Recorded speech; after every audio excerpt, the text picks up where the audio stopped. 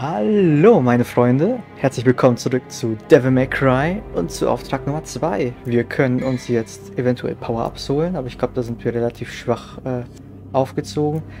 Momentan haben wir noch keine Waffe, die wir aufbessern können und neue Kombos kaufen könnten.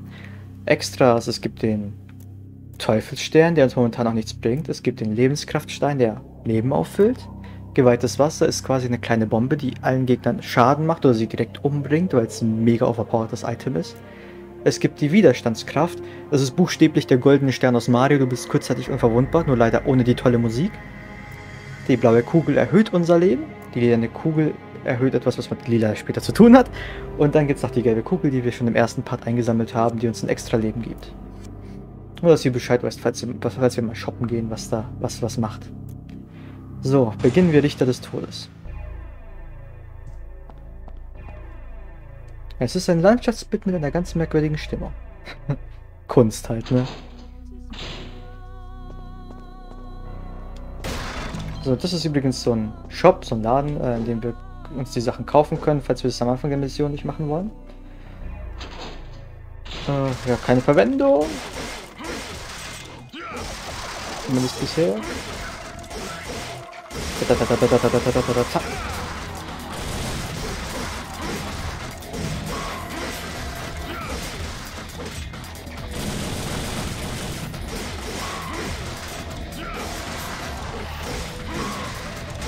Blöden Marionettchen. Ich hätte gerne eine bessere Wertung dieses Mal.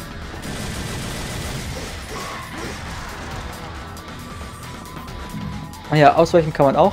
Ansonsten alternativ zum Ausweichen funktioniert auch immer Springen. Es gibt auch äh, Unverwundbarkeitsframes, äh, in denen man nicht getroffen werden kann. Das muss man aber gut timen alles.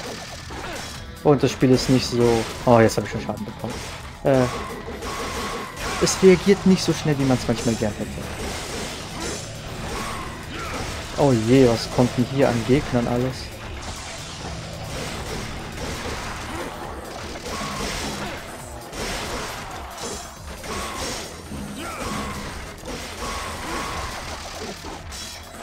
Immerhin gibt es dadurch ein paar gute rote Örbchen.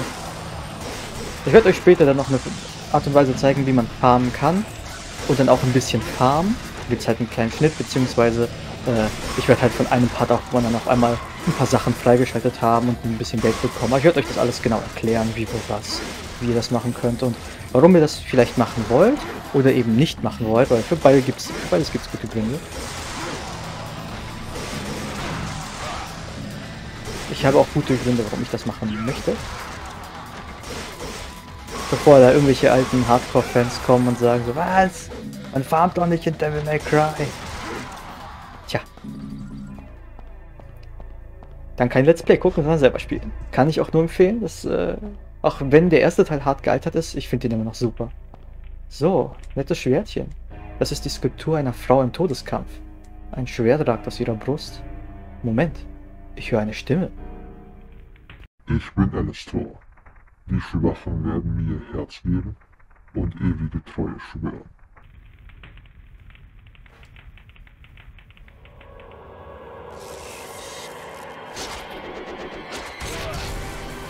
Nicht schon wieder, das hatten wir schon im Intro.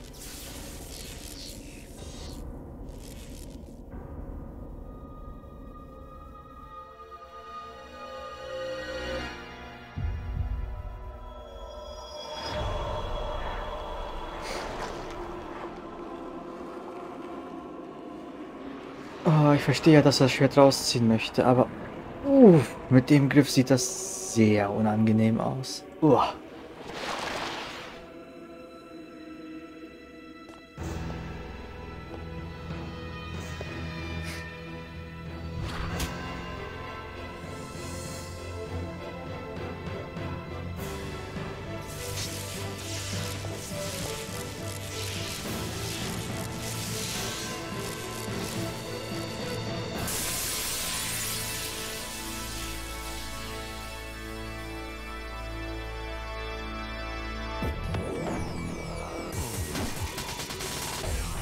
Ach ja, gewöhnt euch an diese Animation, an dieses Posing. Jedes Mal, wenn Dante eine Waffe bekommt, macht er etwas und es wird nur abgefahrener.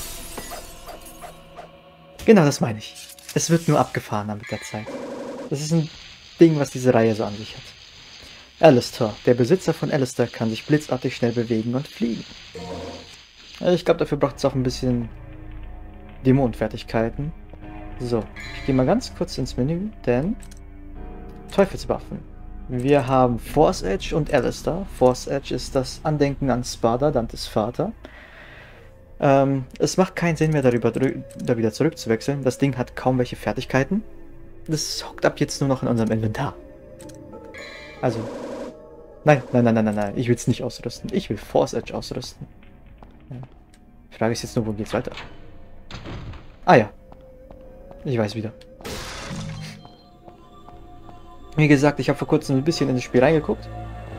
Das heißt, ich weiß jetzt so die ersten paar Missionen noch, wo, wo es in welche Richtung geht. Danach könnte es ein bisschen verwirrter aussehen bei mir. Jetzt nehmen wir erstmal die, das Gewehr mit, die Schrotflinte. Präzisionsgewehr. Das ist kein Präzisionsgewehr. Da bin ich mir sehr sicher. Für große Distanzen, hohe Zerstörungskraft auf kurze Distanz.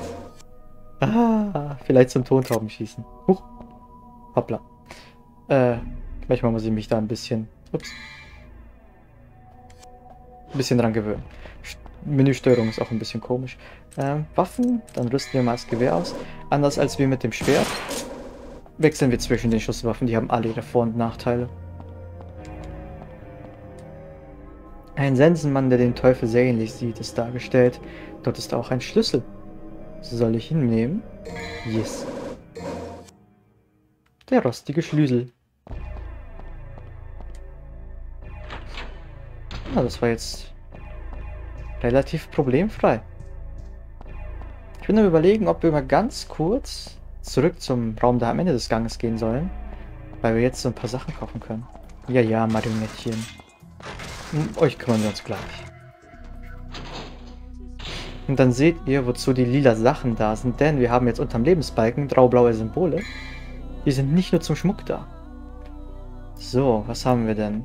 Wir haben Schwertangriff Level 1. Erledigen Sie, Blitz, äh, ihre, erledigen Sie mit Ihrem Blitzschnellschwert Ihre Gegner. Hin und zurück. Werfen Sie Ihr Schwert in einen Boomerang. Luftgang, Doppelsprung. Luftangriff. Steigen Sie in die Luft und greifen Sie mit Stromschlägen an. Und Wirbel Level 1. Verletzen Sie Ihre Gegner mit einem massiven Wirbelangriff. Nehmen wir doch mal den Schwertangriff. Kann ich mal ein bisschen was zeigen. Außerdem ist das unsere schnellste Fortbewegungsmethode. Gewöhnt euch an. Da! I'm a bad guy.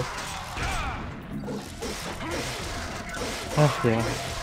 Und jetzt schön mit Elektroangriffen. Ich mag Alistair. Ich weiß nicht warum, sein, sein eigenes Design hat was so in der Reihe. So dieses Drachenzeug und dieses blaue. Vorsitz ist eigentlich auch ganz cool. Ich frage mich gerade nur ein bisschen, wann äh, die Trademark Schwertwaffe von Dante kam. So, jetzt zu den blauen Sachen da oben und den lilanen Orbs.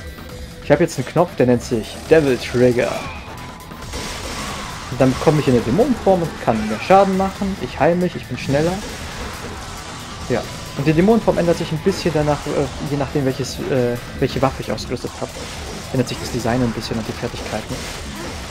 Ja, das ist der Devil Trigger. Der wird uns für die Reihe auch begleiten und kriegt später noch ein ziemlich geiles Lied.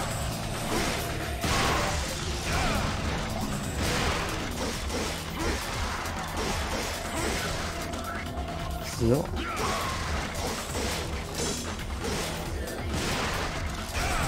Aber dann gehen wir mal weiter. Lassen wir die, lassen wir die Marionetten Marionetten sein. Sie haben den rostigen Schlüssel verwendet. Wir werden noch genug kämpfen. Oh ja. Allem, wenn ich jetzt gerade diese Fontäne. Warte mal, Fontäne. Darf ich? Darf ich? Ach komm jetzt, Dante. Oh, hallo Marionetten.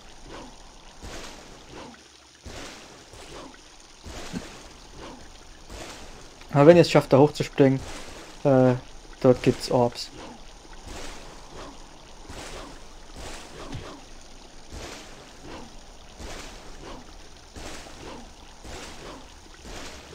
Okay, ich, ich lasse es sein. Ihr wisst jetzt, dass es dort oben Orbs gibt. Nehmt mich beim Wort. Au.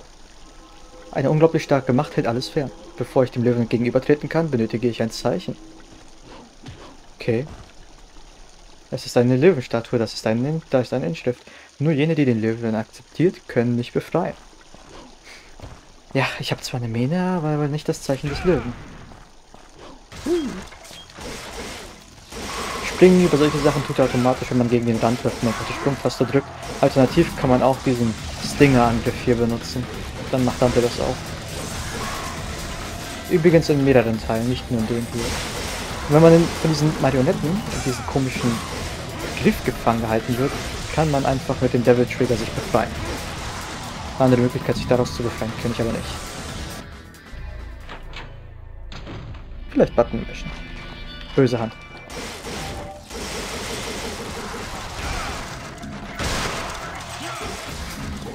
So, die Pistolen sind gut für Chip Damage und äh, für so ein paar Gegner mit Rüstungen und Immunitäten mit Widerstandsmöglichkeiten. Äh, die Schrotflinte ist gegen andere Gegner gut für was äh, so, so Widerstand angeht und also so Poise-mäßig und halt um Gegner halt auf Abstand zu halten. Hier steht etwas geschrieben. Ein Gott steht vor dir. Dränge den Gott mit deiner Kraft zurück, um den Weg zu öffnen. Dann machen wir das doch. Da, da, da, Ach ja, eine Falltür. Und damit holen wir uns den Stab der Gerechtigkeit. Ein Stab, der mysteriös leuchtet.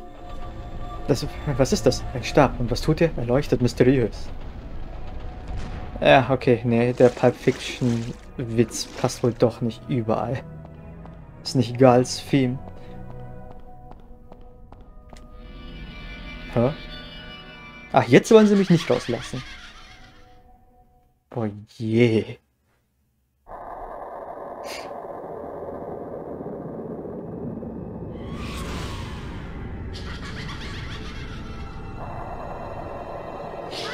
Was wäre ein Spiel mit Dämonen ohne Dementoren?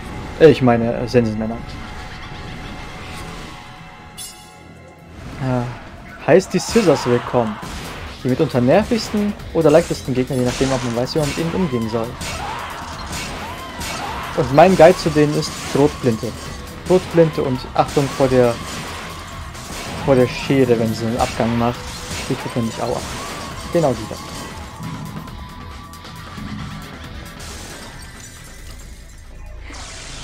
Weil man weiß, wie man sie bekämpfen will, sind sie ziemlich einfach. Wenn man aber einfach nur mit dem Schwert draufhaut, nicht so. Und ohne Schrotflinte sind die auch nervig. Also ich weiß nicht, wie das ist mit Pistole. Ah, Spinnen! Spinne! Immerhin geben die ein bisschen Angst. Aber Spinne! Leute, die Angst vor Spinnen haben, sollten vielleicht abschalten. Es ist eine Figur des Todesrichters. Anscheinend sollte der Richter etwas in den Händen halten. Soll ich diesen Gegenstand verwenden? Stab der Gerechtigkeit? Ja, unser Schwert will ich nicht wieder hergeben. Das behalte ich jetzt.